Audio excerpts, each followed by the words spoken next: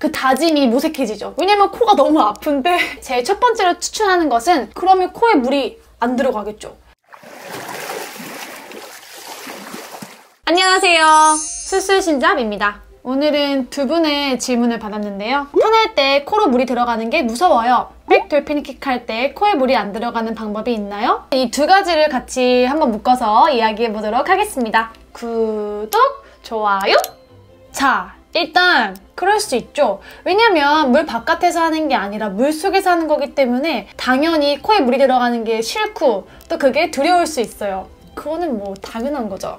내가 뱉을 수 있는 시간보다 더 오랜 시간 호흡을 뱉어야 하는 경우에 코에 물이 들어가는 거란 말이에요. 내가 호흡을 뱉을 수 있는 시간이 5초다. 턴을 완료하는 시간이 3초다. 그러면 코에 물이 안 들어가겠죠. back dolphin kick도 마찬가지예요. 자, 우리가 호흡을 뱉을 수 있는 시간은 일단 정해져 있어요. 그럼 그 시간 안에 턴을 하든 그 시간 안에 dolphin kick을 차고 나와야 되는 거잖아요.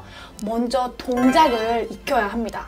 턴이나 돌핀킥의 동작이 내가 몸이 아직 안 익었다 보니까 턴을 하는 시간이 느려지고 혹은 돌핀킥을 차도 차지지 않고 계속 머물러 있는 시간이 길어짐으로 인해서 우리가 물을 먹게 되는 거예요. 어떤 거든 동작이 익숙해져야 느리게도 할 수 있고 빠르게도 할 수 있는 거예요. 그래서 저는 이러한 문제점이나 그리고 고민을 갖고 계신 분들한테 제 첫 번째로 추천하는 것은 코마개입니다. 코마개 5,000원? 4,000원? 5,000원 이내, 4,000원 이내예요. 여러분 왜 코마개 안 쓰세요? 코마개를 쓰세요. 입은 음, 이렇게 닫아줄 수 있지만 코는 이걸 뭐 뭘 막지 않는 이상은 막기가 어렵잖아요. 그러니까 코마개의 도움을 받아주고 동작을 계속 연습을 하는 거예요. 이제 코마개가 있으니까 코를 닫아주겠죠? 그러면 내가 앞으로 들어갔다가 다시 백하거나 아니면 들어는 갔는데 막 못 올라온다거나 이랬을 경우에 코에 물이 안 들어가니까 연습하는데 조금 더 집중을 할 수가 있게 됩니다. 그러니까 이런 거죠. 막 코막이 없이 연습을 하다가 코에 물 들어가고 머리 띵하고 막 피 나올 것 같이 코가 막 따끔따끔 거리고 그러면은 내가 오늘 턴 연습 10번 해야지 라고 생각했다가도 한 세네 번째 그렇게 계속 어택을 받으면 10번은커녕 6번도 못 채우고 나오는 경우가 생길 수 있고 돌핀킥을 찾는데 계속 안 올라오고 계속 제자리에 있는 거예요. 어, 그러면 코에 계속 물이 들어가니까 내가 10번 연습하고 가겠다는 그, 그 다짐이 무색해지죠. 왜냐면 코가 너무 아픈데. 그래서 그 환경을 만들어주자 이거예요. 그러니까 코마개를 끼고 동작을 먼저 익혀봐라 입니다. 이제 코마개를 끼고 연습을 했어요. 7초 안에 7번을 찰 수 있게 되고 어, 1초 안에 턴을 할 수 있게 됐다.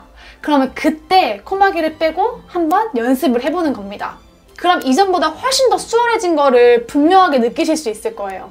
턴을 그런 식으로 연습을 하시면 되고 백돌 핀킥 같은 경우는 좀 또 다른 방법이 몇 가지 더 있는데 구독, 좋아요? 네, 제 후배 중에 한 명은 여기 윗입술로 코를 음 이렇게 막고 한다고 했었어요. 근데 저는 인중이 길어서 그런지 모르겠지만 이게 안 막아지더라고요. 그래서 실제로 제가 했던 선수 시절의 방법은 이렇게 스트립라인을 잡고 고개를 살짝 비스듬히 하고 나가는 방법이었어요. 별로 차이가 없는 것 같지만 사실 저한테는 좀 큰 도움이 됐거든요. 세 번째는 제가 영상을 띄워놓을 건데요. 소리를 내는 거예요.